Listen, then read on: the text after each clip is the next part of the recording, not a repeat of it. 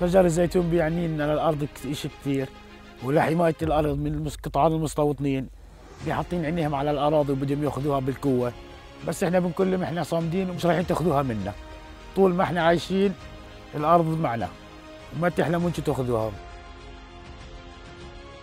هؤلاء المزارعون هم في عملية تسابق مستمر بينهم وبين المستوطنين للحفاظ على أراضيهم.